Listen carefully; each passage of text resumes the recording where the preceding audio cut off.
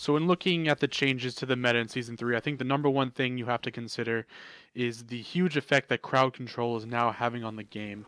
You saw a nerf to Purification Beads at the beginning of Season 3. It now has a 2 minute cooldown, so gods like Ares and Fenrir are starting to seem a lot stronger now because of their heavy CC abilities. And so uh, the biggest thing to, to note in Season 3 right now in this meta is that CC is king. It's it's more powerful than ever, and if you don't have CC on your team, you're probably not going to do as well as a team with heavy CCs. So as you start playing in Season 3, just keep in mind that crowd control is one of the most important stats right now. Um, and to always keep in mind when you're using beads and when your beads are on cooldown, because that is one of the most important things.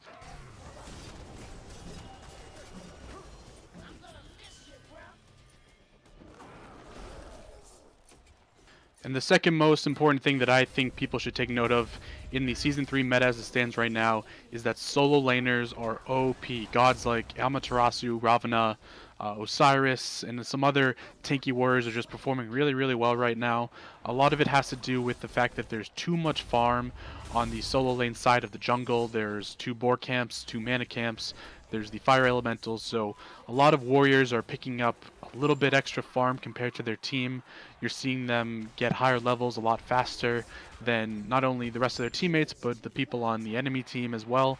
So if you're playing against a warrior, just keep that in mind that they're probably going to be a you know level, maybe a couple levels ahead of you, and try not to focus on them too much and uh, you know try to control them early game if you can because they're going to be pretty strong in the current meta as it stands.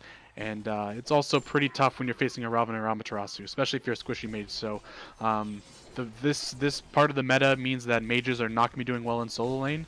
So just keep that in mind if you're if you're going to be playing solo, um, and then just just make sure you're careful late game. And the third thing I think that's important to note about the new meta in Season 3 is that tanks are going to be a little less tanky. This is a, general change that happened to some of the tank items at the beginning of Season 3. In Season 2, you were able to buy a lot of items that included both health and protections, and now in Season 3, they changed a lot of the items to be either one or the other. So tank builds are going to have to be a mix between health and protections. You're not going to get everything you want in tank builds, and so if you're a high damaging assassin or ADC or even a mage, you might be able to look to pluck off those support players a little bit more often in the team fights.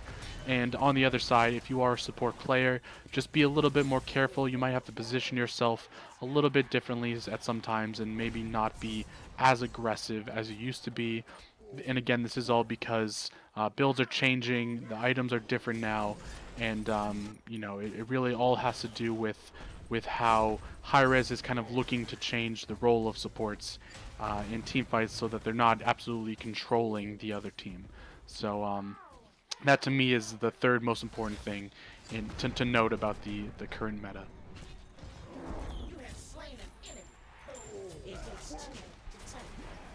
And of course at number 4 I had to mention that mages are doing a lot more damage in Season 3 compared to what they were doing in past seasons. This is due to some of the new items, particularly Doom Orb.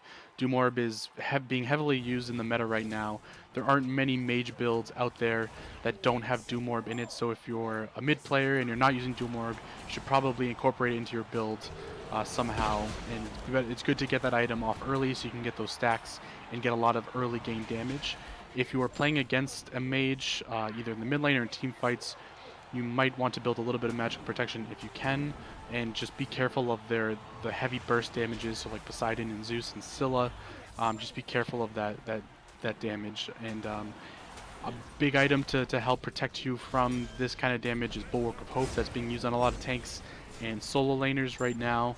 So you might want to pick that up if you are um, a little nervous about the damage that these mages are being are putting out there. Um, but other than that, in team fights, just know how to position, know when a mage is about to use their ultimate or one of their high damaging abilities, and then try to focus them. If you're a jungler, try to gank mid lane early and as much as possible so you can try to delay the enemy mage's builds um, because you do not want them to be getting late game and doing a lot of damage. Um, so that is my number four pick for what you need to know in the Season 3 meta.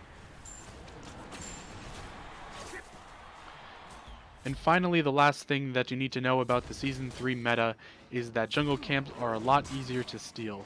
And you might have noticed that they changed the jungle a lot in the beginning of Season 3. A lot of the jungle camps now are have more space. There's some openings so that you can invade them. Uh, the, the camps that are in the corner are now a little bit easier to access as well. And I think this is to allow for maybe some more early game invades. I think once the Smite Pro League starts up, you're going to see some invades.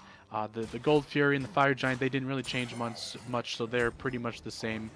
But in general, there's a lot more room in the jungle now.